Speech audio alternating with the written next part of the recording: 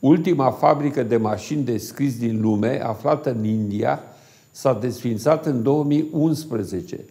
Minunatul aparat cu claviatură și litere de metal, de care s-au folosit timp de două secole milioane de oameni de toate profesiile, a pierdut în concurența cu computerul și imprimanta.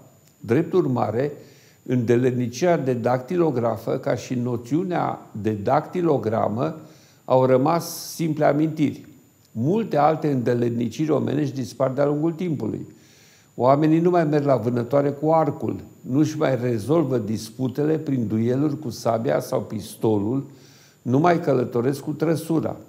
Se mai fac unele excepții, dar ele au doar o valoare sentimentală sau simbolică. Prin analogie cu căderea în desuetudine a acestor practici, unii teoreticieni cred în mod greșit că și literatura va dispărea. Ei sunt convinși că vremea literaturii a trecut, dovada constituind-o ignorarea ei tot mai îngrijorătoare de către publicul larg. Este vorba fără îndoială de o eroare de apreciere și nu spun aceasta dintr-un optimism tendențios ca să-mi apăr profesia, ci pentru că încă de pe acum apar noi forme de literatură în plin proces de dispariție a ei. Câtă vreme vor exista oameni și ei vor comunica printr-un limbaj, va exista și tentația de a folosi acest limbaj și altfel. Este inevitabil că având la dispoziție cuvinte pentru a-și transmite informații, utilizatorii să se și joace cu aceste cuvinte, să le combine astfel încât să producă emoții, să parodieze cu ajutorul lor comunicarea serioasă, etc. Gândiți-vă, dragi tineri, la propriile dumneavoastră SMS-uri.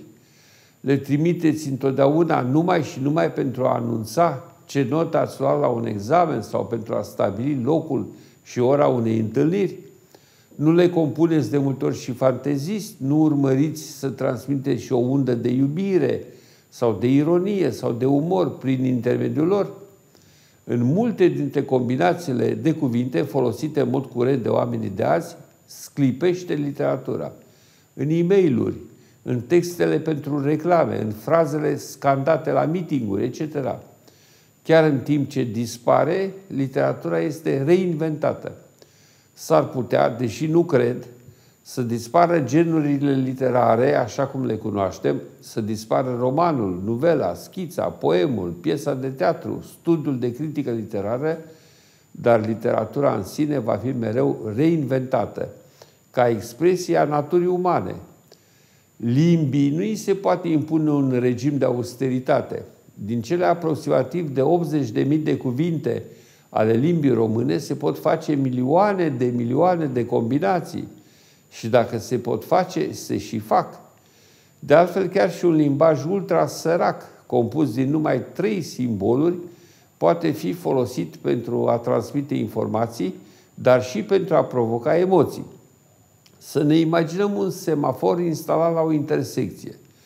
El comunică de dimineața până seara cu noi prin numai trei semne. Verde, care înseamnă liber, poți să treci, galben cu semnificația pregătește-te, urmează o schimbare și roșu, adică oprește-te, nu e voie să treci. Este vorba de fapt de un limbaj compus din numai trei cuvinte, care servește totuși perfect scopului de a dirija circulația într-o intersecție. Sensurile cuvintelor sunt mereu aceleași. Stabilitatea și precizia lor semantică fiind o garanție că mesajul nu va fi înțeles niciodată greșit și că nu se vor produce accidente. Ce se întâmplă însă dacă la un moment dat ajungem la un semafor, la unul imaginar, bineînțeles, nu la unul real, și vedem nu una, ci două lumini verzi aprinse? Vom citi fără îndoială acest mesaj ca pe un îndemn insistent, poate și afectos.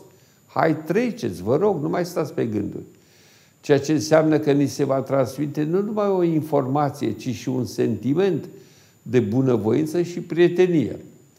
Dar dacă, ridicând privirea la semafor, vom vedea o lumină verde și una roșie aprinse simultan.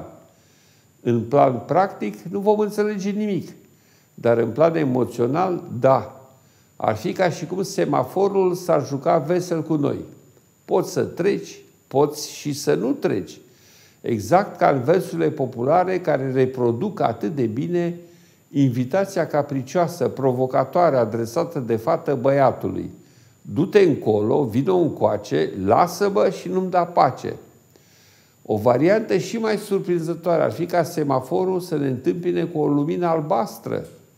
Acest semn straniu din afara limbajului, acceptat în mod oficial, ar avea ecouri neașteptate în conștiința noastră. Cel mai probabil este că ne-am gândit la un mesaj venit de undeva din cosmos. Se poate merge și mai departe cu imaginația. În locul semaforului am putea vedea într-o bună zi o girafă. Și vă las acum pe dumneavoastră, dragi telespectatori tineri, să faceți presupuneri în legătură cu sensul unui asemenea mesaj excentric. Trebuie să admitem, deci, că se poate fabrica literatură și cu numai trei cuvinte. Totul este să le folosim ingenios, cu fantezie, cu sensibilitate, cu plăcerea jocului, cu umor, altfel decât în comunicarea de fiecare zi.